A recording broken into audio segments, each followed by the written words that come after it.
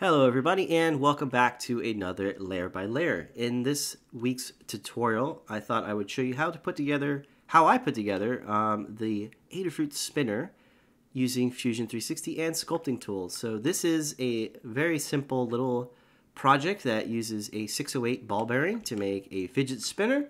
If you don't know what the fidget spinners are, it's one of those uh, fidgeting toys that's been quite popularized by 3D printing, and they're very fun to kind of work on and design your own. And the Adafruit logo is actually a great shape for making a fidget spinner. So uh, if you check out the learning guide for this project, you can get a little glimpse of uh, how ball bearings work and what kind of parts you need. You just need a 608ZZ ball bearing, which is sort of the standard ball bearings, and a little bit of lubrication uh, to make it uh, free spinning, which is a lot of fun. This part does require some support material because it's printed vertically on a 3D printer and uh, a raft also helps keep it adhered to the bed. So you, you will need to enable some support material, but it comes out incredibly nice. I actually 3D printed this on several 3D printers and I used Cura and Simplify 3D. They both come out pretty nice and in this week's project, uh, I just wanted to show you guys how you can put together uh, a similar shape using Fusion 360. So let's go ahead and get started here.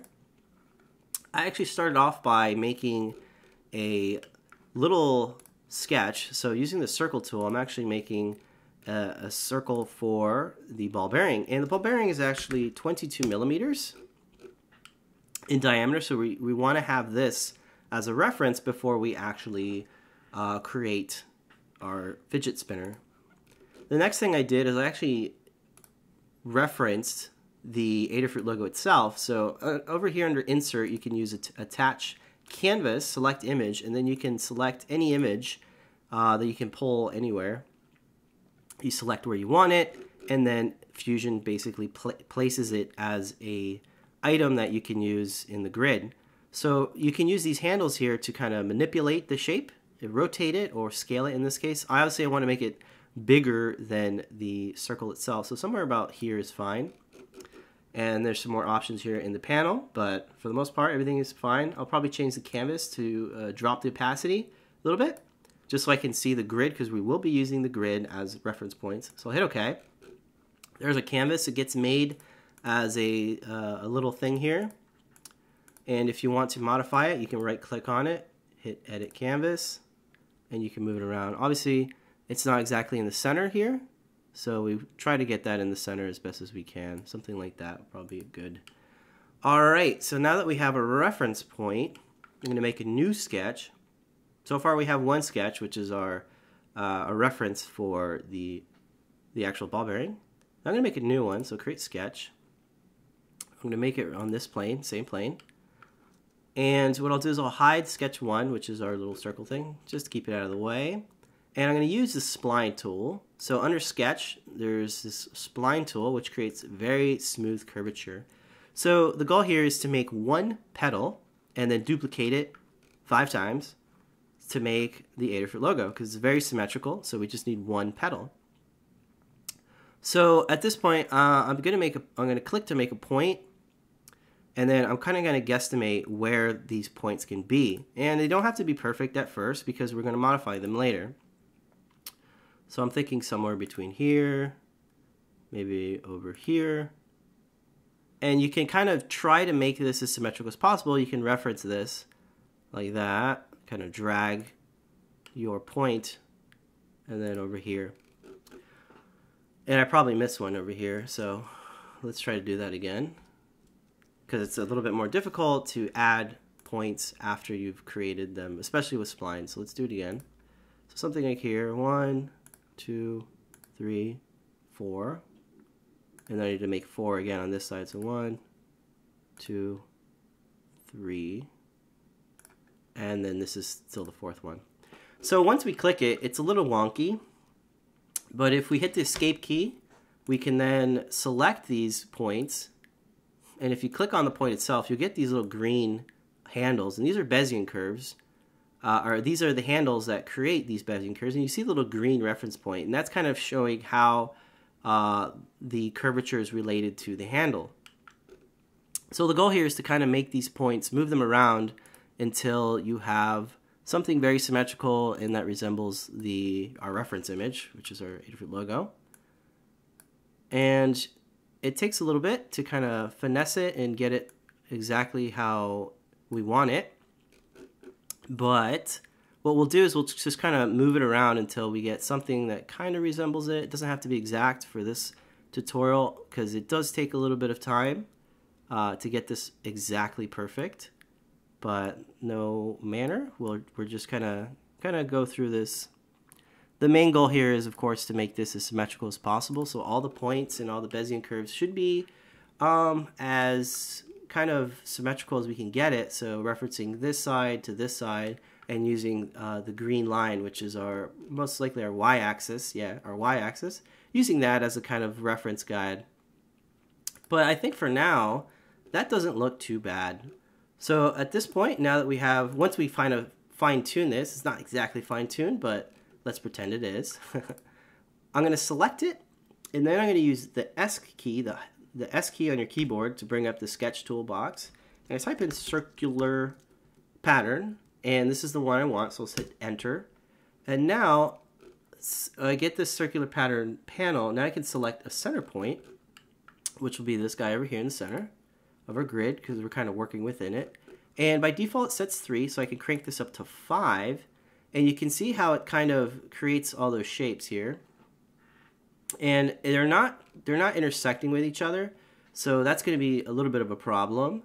So we will have to kind of tweak them until we get it. And sometimes you can just move by selecting uh, our first our main kind of copy, we can move it around and you'll see that they kind of move all together because it's referencing uh, a co- it's referencing the copy the pattern is referencing this one copy so we can kind of move it around.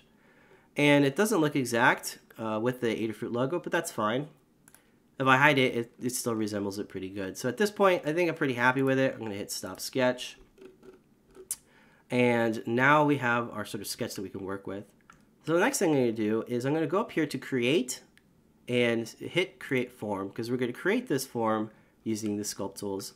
So the next thing is under inside the sculpt environment, I'm going to hit extrude and then I'm going to select all the profiles including the ones that are intersecting here like this by holding down the command key and just make sure we select all of our petals and the petals that intersect with each other.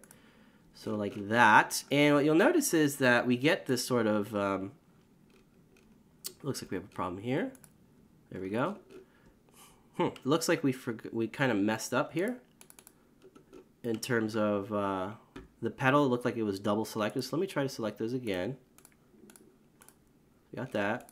We get the middle and then these little intersecting points.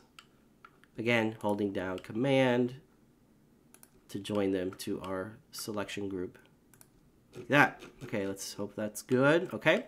Now you'll notice that it's very curvy. It doesn't follow the path. That's because we don't have enough faces. By default, set to 8. So I'm going to crank this up to 40. And now we have enough faces to create our geometry. So that's looking pretty good.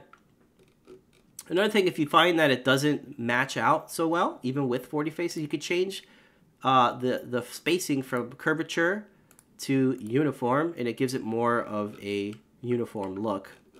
So it's always a good option there, but it follows it most uh, pretty closely. The direction is set to one-sided, and the operation set to new body. And the extrusion itself is set to a distance of 2. I'm going to crank that up to 5. Hit OK. Now we have kind of like a cookie cutter type shape. And the next thing we want to do is close off this surface here. And we can do that easily.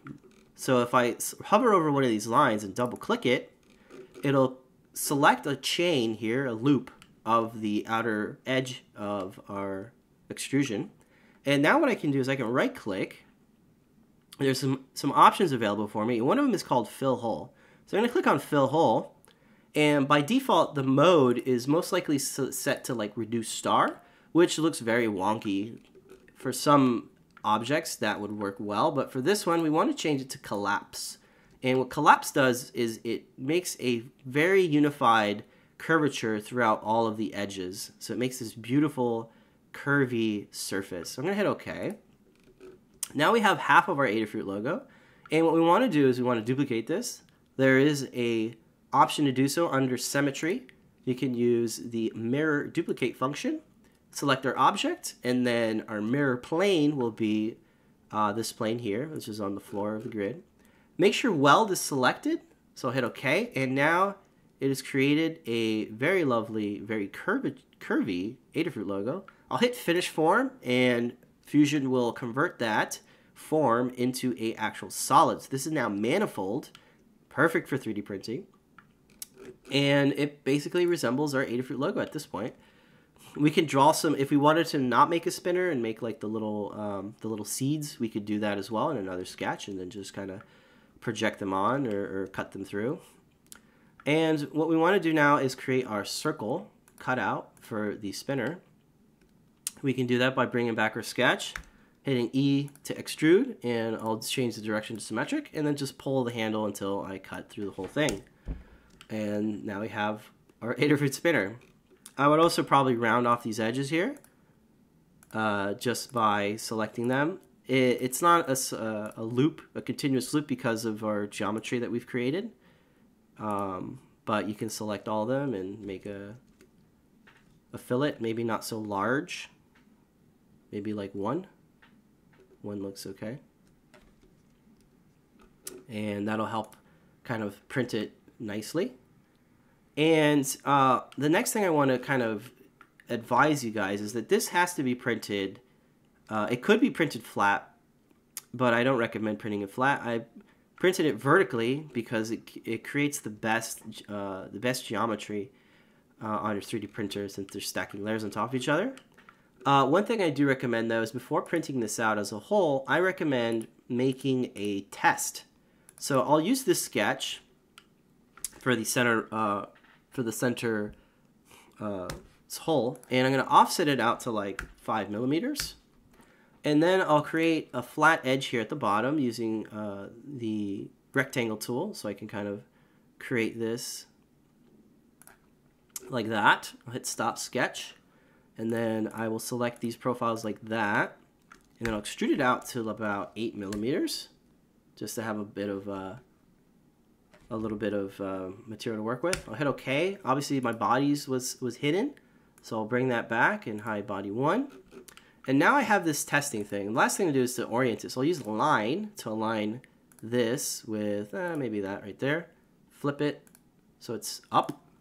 And now what I can do is use this 3D print this, and then test out the tolerances. And what I found, here, I'll, I'll go ahead and bring it into my slicer here by right-clicking Save Out STL, and then checking this box here, Send to Utility, where you have an option to select Cura or uh, Mesh Mixer, or anything that you have selected. In my case, I'm using Simplify 3D. So let me bring that in. Hit OK.